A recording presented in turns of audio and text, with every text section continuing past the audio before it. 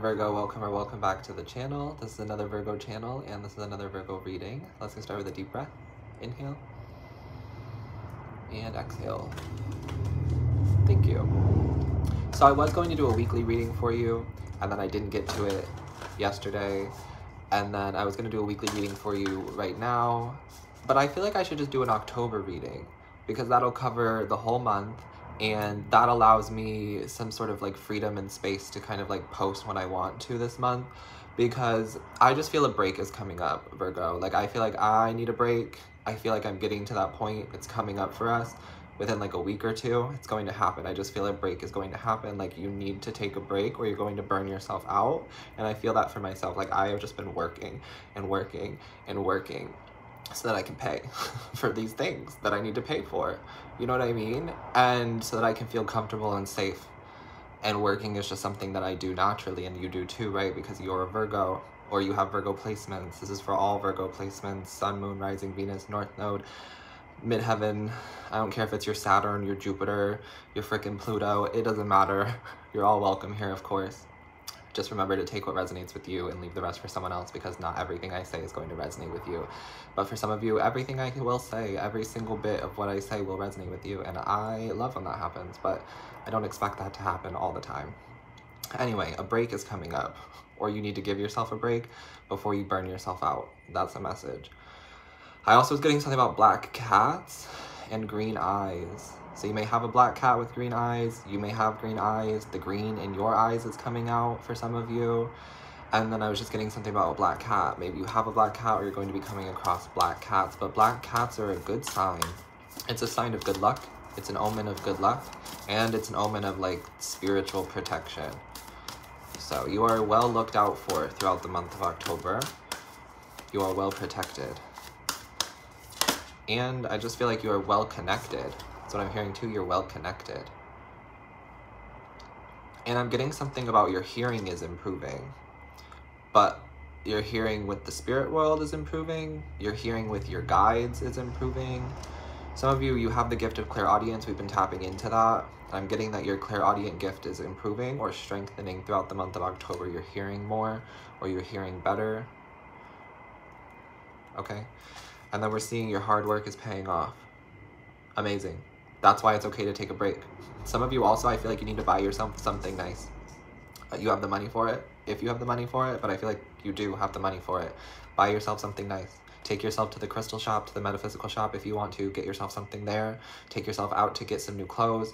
Take yourself out to get that body care or that skin care or that makeup that you've been wanting. Like whatever it is, I feel like you need to treat yourself. And I feel like some of you, there's a break that you need to take coming up. So treat yourself to a break or treat yourself on this break if this is you. And then we're seeing it's time to release negativity. Right. Your hard work is paying off and it's time to release negativity. So the negative is being released from your life this month. And I feel like that's why you need to take a break so that you can let it all be released from you. There's something about like a big purification that I feel like is happening to the Virgo collective throughout the month of October. And it's releasing all of the negative feelings, it's releasing all of the negative thoughts, it's releasing all of the negative people. The negativity is being removed from your life, it's being cleansed from your life. That's what I'm seeing. Obviously, there's like the balance. We need a little bit of negative to have a little bit of positive, and we need a little bit of positive to have a little bit of negative. But I feel like for some of you, there's been a lot of negativity. Not just recently, but for like your whole life. There's been a lot of negative energy projected onto you, or you've just been around negative people, negative spaces. A lot of you, it wasn't your choice. You were born into these families, or you were put in these places when you were a child. You didn't have a choice but now the universe is balancing the scales and making everything right. And I'm getting something about Jesus. You may be very connected to Jesus, or Jesus may be looking out for you specifically right now. You may be working with Jesus or Yeshua. You may be learning more about Jesus or Yeshua around this time throughout the month of October. Okay? But yeah, let's keep going. Jesus is here. Uh-huh.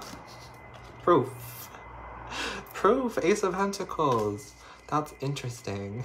I'm sorry. I'm just like starstruck that I'm channeling Jesus in this reading.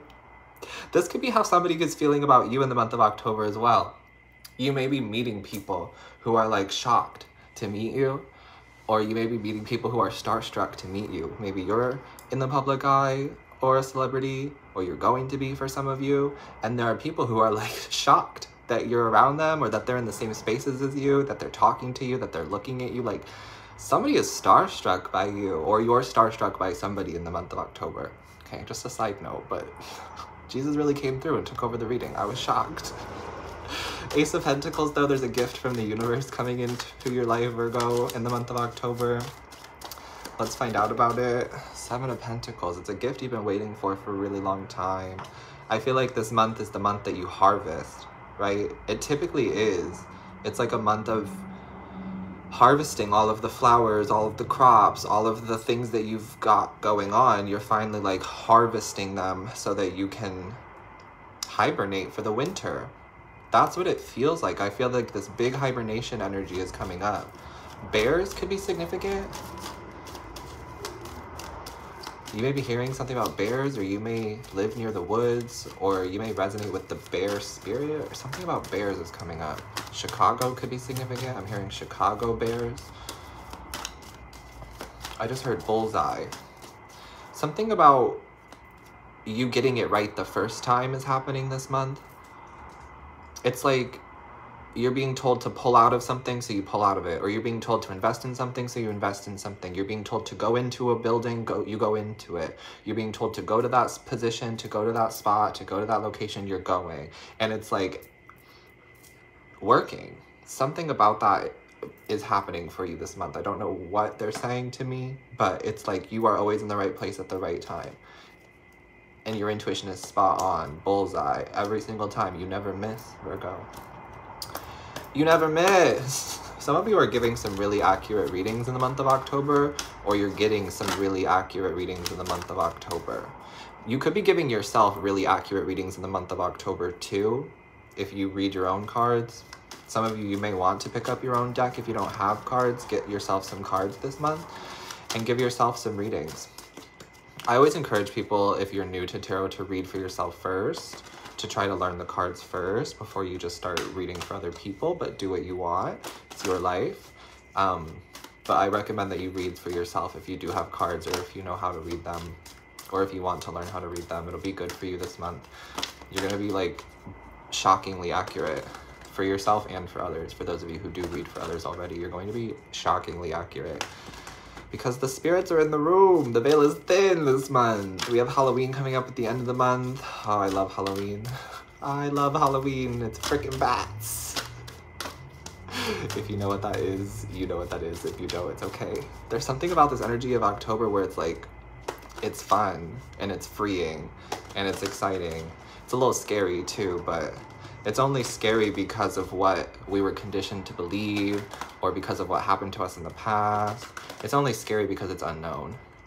I got this quote today that I thought was like so profound, and it was sometimes the most important words are the ones unspoken, and sometimes the most important sights are the ones unseen, and sometimes the most important thoughts are the ones unknown. And I just thought that was so profound. That came into my noggin this morning. Sometimes I have moments of genius or brilliance, and I wanted to share it, and so I shared it on my Instagram, right? And then immediately I've been channeling things about people disagreeing with what I'm saying or with what you're saying or what we're saying or how we're expressing ourselves. And I'm thinking about it and it's been thinking and thinking and thinking in my brain. And I come to the conclusion that it's a jealousy thing in a weird way where it's like I'm expressing my creativity and I'm sharing my thoughts and other people feel like they can't. But that's not my fault. I also was channeling something about how there's people out here with 50% of the talent that you have, but they're 10 times more successful just because they're willing to put themselves out there, just because they're willing to go through with it and to do it without having all of the information, without having all of the talent, without having all of the connections, whatever. There's people out here with half of your talent doing what you want to be doing for some of you. And that was what I was thinking about. I was like, I just don't have any fear anymore when it comes to putting out my creations. If it sounds dumb, it sounds dumb. If people don't like it, they don't like it. That's okay. Yeah, I'm not here to people please, and neither are you. I'm just here to be and exist and share my creativity. I love to create. And I've been really work working on releasing perfectionism. And I feel like you guys are going to be working on that throughout the month of October as well. Just like not caring if it's amazing, not caring if it's perfect, but just putting things out there and just creating and just living your life. 100%. and for some of you, this is going to be bringing somebody back into your life. There's somebody who wants to try to reconnect with you, Virgo. I'm seeing this King of Swords energy. So there could be a Libra, Gemini, Aquarius, or a Scorpio, or a Capricorn who wants to try to reconnect with some of you in the month of October or somebody that you want to try to reconnect with, but I really feel like this is somebody who's going to try to pop back up into your life. They're like, hey, look, we're in the same area. Hey, are you single? Hey, are you talking to anybody? Hey, can we meet up for coffee? Hey, can we meet up for drinks? Can we meet up for lunch? Hey, I'm doing this, you should come see it. That's the type of energy. This person's going to reach out to you. I'm hearing mid-October. Some of them have a birthday, so Libra, there could be a Libra who has a birthday this month who's going to be reaching out to you. But I'm also seeing that for some of you who are single, there's somebody new in your life or somebody new entering your life. It almost feels like it's happening at the same time for some of you. I know you didn't really come here for a love reading, but it feels like there's going to be discussions of love and um, love situations and situationships being like played out and really important this month. Let me find out what this air sign wants, okay? Let's find out what this air sign wants. Let's just hear them out. I'm hearing Telephone by Lady Gaga. And you're not gonna reach my telephone. Maybe you don't want to hear from this person. But this person could be calling you or texting you or something like that. Reaching out to you on your telephone. It could be a DM an email, I don't know. But I'm seeing something about like them reaching out to you on your telephone and I just saw 1212 when I said that. And they want to start things over. But this is how you're still looking at the connection. The 5 of pentacles, you're like I still feel like lost and ghosted and abandoned with this person. There's still some sort of hurt there for you. But this person wants to start over. Tell me more yeah, they're really planning on reconnecting with you. But the Seven of Swords is here. And I don't feel like it's for the right reason. I With the Five of Swords at the bottom of the deck, I feel like it's manipulative and I feel like it's selfish. Why they want to reconnect with you, it's selfish. And it's for their own personal gain. And I feel like it's because some of you are going to be reaping a lot of benefits this week, this month, right? Reaping the rewards from what you've sown. Because there are definitely seeds that you planted a long time ago that have grown. Look at this. Grown. There's growth here. So you're finally like collecting your blessings, collecting your manifestations, collecting your benefits, your rewards, whatever it might be. And this person is seeing that. And this person is like, oh, oh, Virgo's doing better. Oh, Virgo's happy. Look at all that Virgo has now. Look at Virgo. Virgo looks so good. All of these things. This is what's going on in this person's thoughts. And they're like, how can I come back in and I, how can I get a piece of the pie? This may not even be romantic. For some of you, this is going to be your father or friends, friends from the past, coworkers from the past, seeing that you're doing well this month. And there's going to be people asking you for money or asking you to like come through, come hang out with them, and then they expect you to pay the bill on things. That's what I'm seeing for some of you. Some people are trying to use you for your money or the money that you're going to have in the near future. Because I feel like October is bringing with it financial improvements for a lot of the collective because your hard work is paying off. Your hard work is paying off. You've been putting in the work on yourself, maybe actual work, maybe both. There's, there's more to this than I can even articulate and the universe is paying you for your hard work. And this person wants to get a piece of the pie, wants to get a piece of your hard work. Or these people from your past, they're really trying to reconnect this month. The Three of Cups, too, I can feel it. This is all about like reconnecting. Whew, this is a lot, Virgo. This is a part of you releasing the negativity. I feel like for some of you, this is going to be a test from the universe. It's going to feel like a test from the universe. Like, how much do you love yourself? How firm are your boundaries? How much have you learned from these past situations? Are you going to let them replay? Are you going to go back down this cycle with the Wheel of Fortune in the reverse? Are you going to give your love to this person again? To be ghosted again? To be left out again? To be disappointed again? Damn. I'm sorry that this is coming through this way, but this is just what I'm channeling. And I feel like you deserve so much better, and so there is going to be better that comes into your life as a result of you finally slamming the door on these people from the past. Finally, the door is being closed and you are going to receive your justice. The universe is balancing everything right now. Everything is trying to come back into balance. And I feel like what I was saying in the beginning was something about you've experienced a lot of negativity in all aspects of your life or in different aspects of your life. And the universe is trying to make things right again. Your spirit team, Jesus, your guides, whatever you believe in, are trying to make things right again. So that's why all this negativity is being released. But you always get to have a choice. And I feel like this negative energy is trying really hard to keep you in a negative mindset or to keep you in this system or in this cycle. It's trying really hard this month, really hard. But you know what they say? That they give God's toughest warriors, strongest warriors, the toughest battles. Yes, yes, you are one of the strongest warriors. Period. You will receive your justice this month. Justice is served. Justice is served.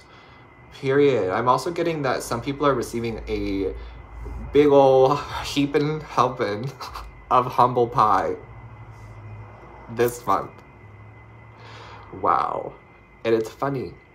I don't know why it's funny, but it's funny. Something about this energy is going to be funny for you. Justice is funny. That's what I'm hearing. Justice is funny. Karma is funny. Karma is your best friend this month. Period. Karma is Virgo's best friend this month. I'm writing that down.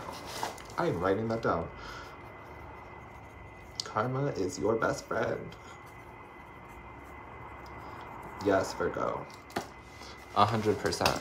Do we want to find out about the new love for some of you? Or no? No? No, not in this reading, they said. They want you to focus on resting, on taking breaks when you need to, on not burning yourself out. And I feel like this is when everything starts to flow into your life again. For some of you who have been like in this stagnant energy or you've been waiting for things to manifest for you, it's because you keep putting so much energy and time and work into it, which is great. But now it's time for you to step back and to take a break and to allow the energy to flow. That's what I'm getting. The Empress is all about receiving, the Death card is all about transformation. And now it's your time to receive positivity, now it's your time to receive love, now it's your time to receive blessings, now it's your time to receive manifestations, now it's your time to receive justice, now it's your time to receive positivity, so on and so forth. it's your time to receive. So I hope that this message helped you, Virgo. I'm sending you love always. Take care of your beautiful self. Stay hydrated. Enjoy your October. I will see you when I see you. Bye.